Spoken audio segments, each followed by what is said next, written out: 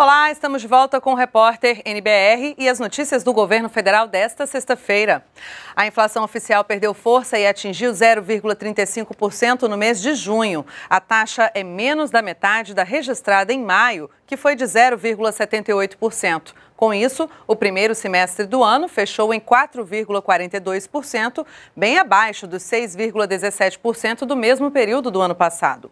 Todos os grupos de despesa que entram no cálculo do IPCA registraram taxas menores. Os preços dos alimentos e bebidas subiram menos em junho, mas esse grupo foi o que mais pesou no bolso do consumidor, principalmente o feijão. Houve queda na safra do grão devido a problemas climáticos. E para aumentar a oferta, do feijão e frear o preço, o governo anunciou no mês passado a liberação da importação do produto da Argentina, do Paraguai e da Bolívia. E a meta fiscal do governo para 2017 é de um déficit de 139 bilhões de reais. O resultado inclui a geração de 55 bilhões de reais com a venda de ativos e concessões. Thaisa Dias traz outras informações para a gente do Palácio do Planalto. Oi, Thaisa.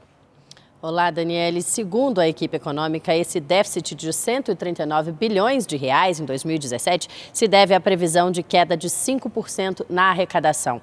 Essa nova meta fiscal, que vai ser entregue ao Congresso Nacional, vai substituir a que foi enviada em abril pelo governo da presidente afastada Dilma Rousseff e que previa um déficit de 65 bilhões de reais no ano que vem. O ministro da Fazenda, Henrique Meirelles, disse que os novos números são mais realistas e já levam em conta as ações do governo para recuperar a economia, como, por exemplo, o novo regime fiscal, que limita os gastos públicos à inflação do ano anterior. Nós temos esse número de 139. De novo, é um número alto, certamente, mas é um número já com um, uma queda substancial do que seria o resultado, uh, seguindo-se as tendências dos últimos anos para a receita e para a despesa. Nesses números de tendência está sendo considerado uma queda sistemática uh, do percentual do PIB representado pela arrecadação, que tem ocorrido nos últimos anos, que é resultado de uma série de coisas, inclusive é, produto da queda da atividade econômica, da queda da confiança, da queda, em resumo, da capacidade arrecadatória é, do país como um todo. Isto já começa a ser revertido e certamente esperamos e contamos com a reversão importante disso até o início do ano de 2017. A previsão é que em 2017 a economia cresça 1,2%. O resultado nas contas públicas ainda inclui a geração de 55 bilhões de reais com a venda de ativos e concessões. O governo vai fazer um estudo até o final de agosto para alcançar essa receita extra e não descarta a possibilidade de aumento de tributos. Estaremos definindo esta questão até o final de agosto, no momento em que aí sim teremos definido o que ah, será o orçamento de 2017 e até lá, até lá sim, ah, teremos definido ah, o que será necessário e se será necessário a elevação de algum tributo e qual seria o tributo mais favorável do ponto de vista de eficiência e da atividade econômica, porque vamos explorar todas as alternativas daqui até lá de mercado, de privatizações, de outorgas, de concessões e uma série de coisas, e a partir daí consideraremos a necessidade sim do aumento do imposto se for necessário. O presidente em exercício Michel Temer está reunido hoje com empresários na CNI, a Confederação Nacional da Indústria, aqui em Brasília. A repórter Paola Deorte está lá e tem os detalhes para gente. Oi, Paola.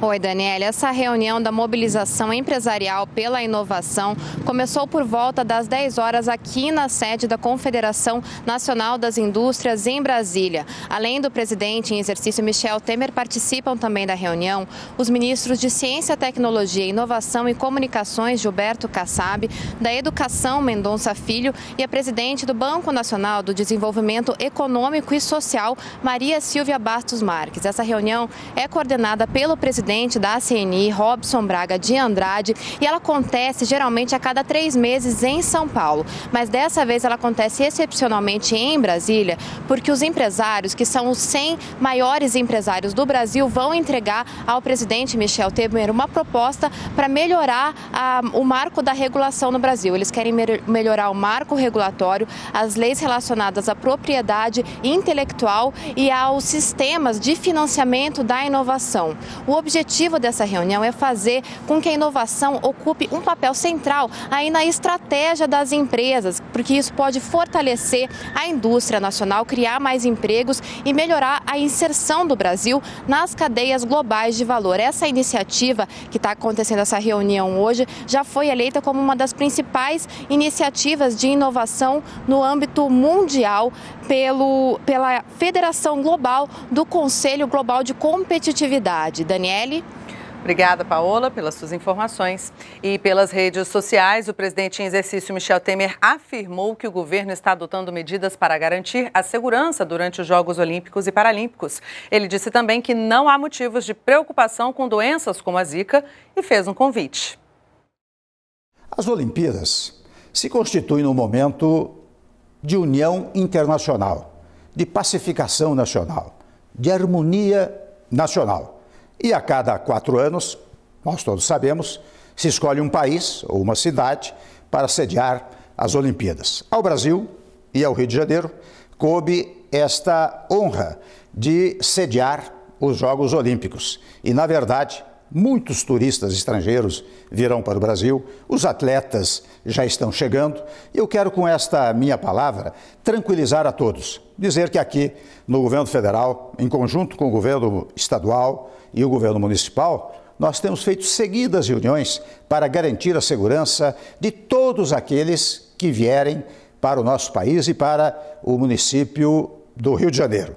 Por outro lado, não há e não deve haver nenhuma preocupação com nenhuma espécie de doença tropical, seja zika ou o que seja, porque este combate já foi feito aqui no Brasil e nós estamos, devo registrar, num período de inverno, em que qualquer mosquito transmissor opera com menor intensidade. Não temos a menor preocupação em relação a isso, tendo em vista, portanto, o tema segurança e o tema saúde. O que nós queremos é nos confraternizarmos com todos os povos do mundo nesta reunião uh, histórica, né?